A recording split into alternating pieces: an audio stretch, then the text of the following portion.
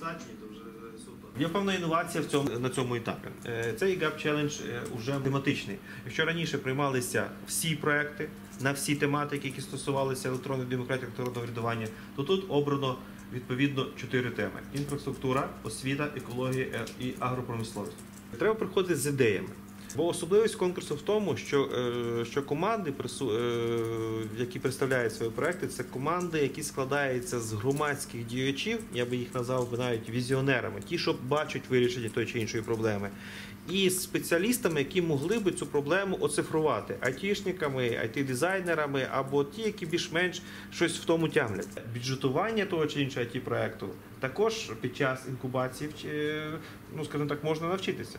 Бо дуже багато приходять людей з достатньо креативними е, баченням тої чи іншої проблеми, з креативним дизайном і так далі.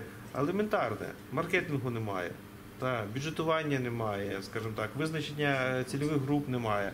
А для того, що якщо ти хочеш е, свій продукт не просто запустити, а й продавати, запускати в громаду, отримати користь, ну то треба всі ці етапи. Ну це бізнес. Бізнес в такому хорошому розумінні. Справа.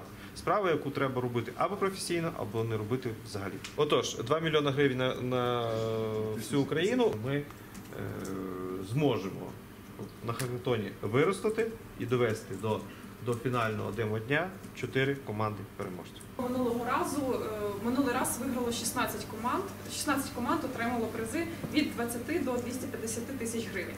І е, так само ви маєте розуміти, Петро вже казав, що на хакатон не потрібно йти вже з готовим IT, IT-проектом. На хакатон варто йти з ідеєю, тому що взагалі це слово таке для айтішників зрозуміло, що таке хакатон.